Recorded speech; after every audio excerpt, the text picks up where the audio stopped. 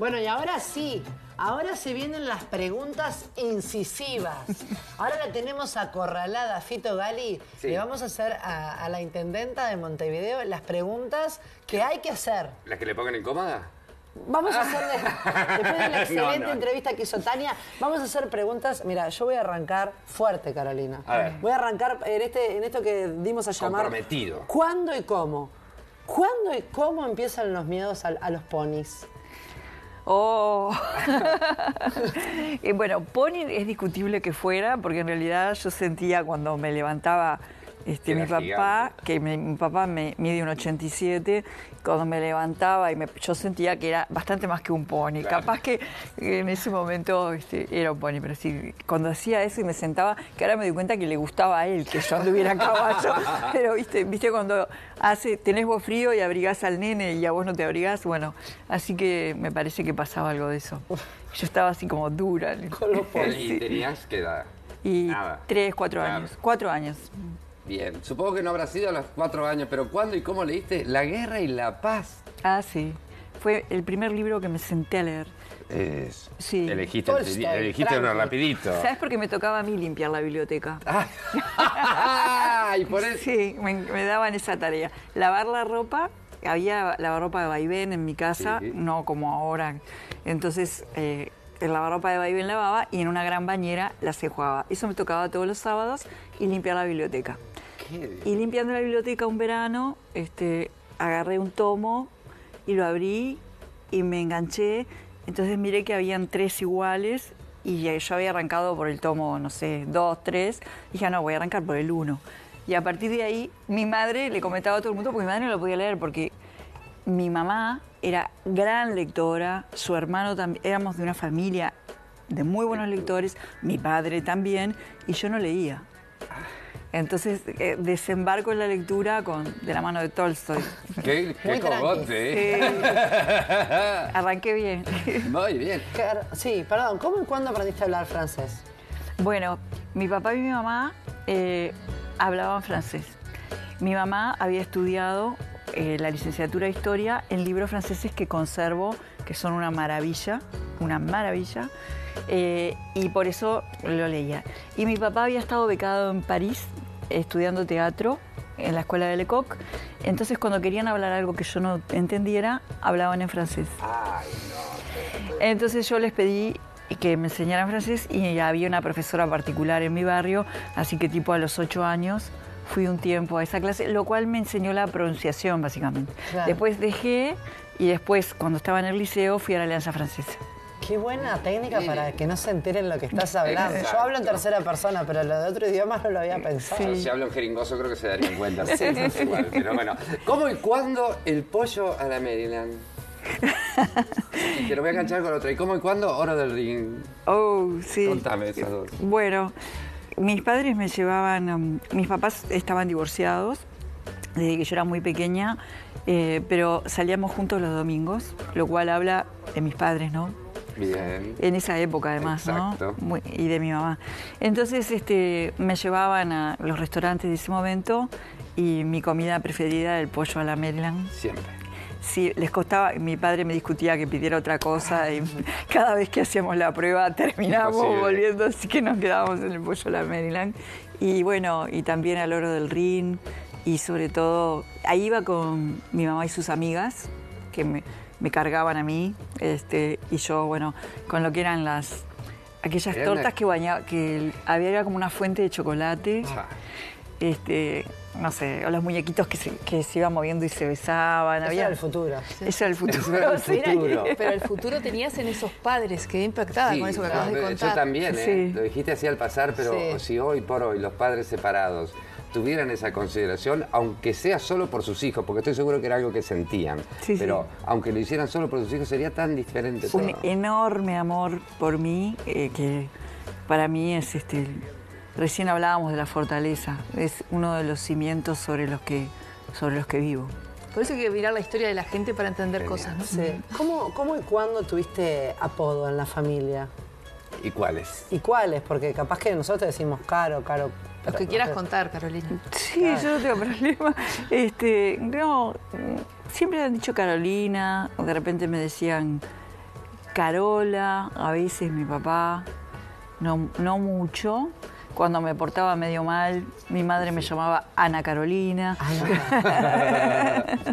este, cuando venía nombre completo, Eh, reto, estaba reto mal, seguro. algo mal iba a suceder. Este, y bueno, no, no mucho más que eso. No mucho más que eso. ¿Por qué dejaste el Ana Caroli, atrás? Caroli me decía. ¿Por qué dejaste el, el ¿El qué? Ana atrás? ¿El qué? El Ana, Ana. atrás. ¿Sabes que firmo como Ana? Ah. Sí. Porque también los nombres como. También tienen que ver con que el te teatro de. Ana Carolina, ¿no? No, no, me llamo Carolina porque era el nombre que más le gustaba a mi mamá. Estaba enamorada de ese nombre y este y bueno, fue una lucha que dio y ganó este, en ese momento. Y, y Ana porque querían ponerme dos nombres para que yo pudiera elegir, pero ellos me decían Carolina. Digamos, todo el mundo me decía Carolina. Y el Ana Carolina venía cuando la mano venía mal, así que. Claro, Ana Carolina es un montón. sí, ¿Cuándo, cómo y cuál fue el primer sueldo que ganaste? ¿Te acordás? Formal. Sí. sí, aportando. Uh. este, aportando fue eh, en una empresa eh, uruguaya que fabricaba unidades de energía ininterrumpible. Ah, Y bueno, yo todavía era estudiante de ingeniería y entré ahí. Eh, bueno, aprendí muchísimo de todos mis compañeros, de los dueños, aprendí mucho. Eso fue. Yo me divago para otra cosa que no tiene nada que Ah, ver, pero te lo he dicho ya en otros lugares. Informal mucho antes. Informal, como todos. De Clases niño para- particular, no, clases Ah, la- particular. ¿quedabas en una cocina, parece? Sí, en la cocina. Sí, sí, sí. No, pero me- me- Venezuela. Mm. Para mí fue un viaje brutal lo que hiciste en Venezuela. Sí. Y- y- pero además, yendo a otro país. Acá, si lo hicieras acá, sería un viaje brutal. Pero yendo a otro país, otra cultura, hacerlo. ¿Cómo fue enfrentarte a eso? Fue un proyecto enorme para mí. Fue el proyecto que como ingeniera en el ámbito privado, Grosso. enorme, enorme. Eh, habíamos otros uruguayos, éramos unos tres uruguayos más. Este, era un equipo chico el que estaba a cargo de todo. Eh, trabajé con miles de personas, tenía a mi cargo un equipo como de 18 mil, este, 18 mil personas, por lo menos. Este, sí. Y a, a mi cargo directo unos 500 que eran los que se iban a encargar de la capacitación, quizás más. Este, y un plazo, de, un plazo corto. muy corto, tenía que estar pronto en 30 días y quedó pronto. Un viaje. Un viaje fue. Un viaje. Sí. Eh, La gente cuando trabaja en equipo, un equipo grande era, que hubo que organizar muy rápido, este, te devuelve cosas maravillosas. Además era un proyecto, era la captación de huella digital para que el voto fuera con captación de huella y no hubiera fraude. Y bueno, habían observadores internacionales. Estuve al lado de Billy Carter, Ah. sí, que fue como un observador al centro de cómputos y ¿Se demás. puede trasladar esa experiencia a Uruguay en el voto? Y sí, ¿Y qué faltaría? y hacer, falta hacerlo. Sí, Va. sí. Caro, te iba a hacer una pregunta más superficial, Sí. pero voy a ir un, un poco más linda. ¿Cómo y cuándo te diste cuenta que querías ser intendenta? Eh, te digo, la primera vez que me di cuenta la potencia que tenía una ciudad fue cuando trabajé en la intendencia por primera vez. Que ahí conocí toda la intendencia, como estaba en tecnología, trabajaba con todas las áreas de la intendencia y eso me permitía conocer distintas realidades. Y una vez, no me acuerdo en qué estábamos con Ricardo Erlich, que era mi jefe, era el intendente de ese momento, y yo le dije, qué increíble la potencia de Montevideo. Y hablábamos de eso. Fin, quedó en eso. Este, y después, bueno, me fueron ofreciendo a lo largo del tiempo y yo no, no fui aceptando. ¿Y por, por qué? ¿Sentías que no, no era el momento? Porque sentía que no, que no era el momento. No, hay cosas que es difícil de explicar y que no tienen explicación. Este, y bueno, después, en- antes de la campaña, ya ahí fue demasiada gente la que me decía y bueno, acepté y estoy muy feliz de haberlo hecho. Si hoy te, si hoy te candidatean, ¿agarrás para presidenta? Sí, Otro bueno, precio, otro precio tiene. Y ahora, pará, te perdonamos porque llegaron tantos mensajes que vamos a ir a bichonear mensajes. Dale. Si me acompañan. Vamos A a ver, qué a nos ver está la gente. diciendo la gente. Que capaz que le están haciendo preguntas también, ¿eh? A ver. Qué linda entrevista, Carolina Cose. La quiero de... pre- Bueno, no sabía. La quiero de presidente. Si no va a la cabeza, no voto al frente. Quiero que recorra el interior. Gracias. Bueno. Tan, tan, tan, tan. Eh, buen día. eh. Eh, bien, Carolina, gracias por ser única. No afloje que estamos detrás ayudándonos. Somos fuertes las mujeres. Somos fuertes. Aguante la jefa, aguante la jefa. Saludos a la compañera y futura presidenta de la gloriosa República Separatista del Cerro. Erika, a ustedes también los esperamos porque son unos genios. Eh, dos genios en la pantalla, cada una lo suyo, Carolina y Tania. Arriba las mujeres uruguayas. Tengo 60 años y escuchar a Carolina emociona su humanidad. Por fin política sin cassette. No estás sola, Carolina. Somos miles rodeándote, cuidándote y dispuestos a ponerte en el lugar que te mereces siendo presidenta. Arriba, Caro, no nos aflojes. Leonel de Tres Cruces. Bien ahí. Una gran Carolina, un abrazo y muchos éxitos más. ¡Wow! ¡Qué emoción ver a Carolina Cosa! Es una mujer con mucha fuerza y ganas de hacer el bien. La admiro porque a mí también me da fuerzas. Un abrazo, soy María del Carmen. Tiene que ser presidenta.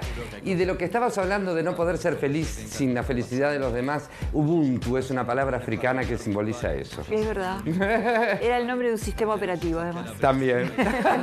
Por eso mismo. Una señora, Carolina Cosa, y mi admiración total a la gran persona, mujer que solo con su actitud nos hace sentir que tenemos respaldo y una persona que está con Montevideo. Amo Montevideo. Carolina, sos genia, fuerza, estamos contigo. Guerrera desde el cerro. Fito, quedan 700 mensajes, nos quedan 15 minutos de programa y una agenda de Carolina, imagino que debe ser enorme, así que estaría bien despedir a la señora Carolina Cosa, ¿verdad? ¿Con qué, Dios? Con un fuerte aplauso para Carolina. Gracias, Carolina.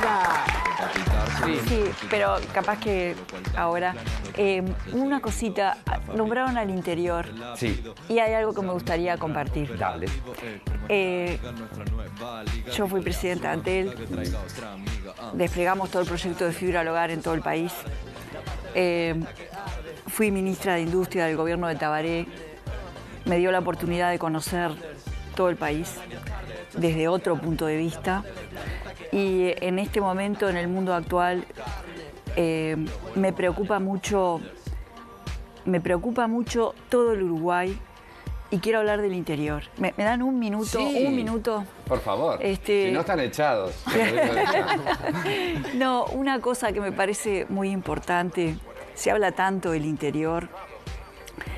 Cuando llevamos el proyecto de fibra al hogar, a mí me discutían en varios medios que por qué estábamos poniendo la fibra una casa al lado de la otra si capaz que había gente que no la iba a usar.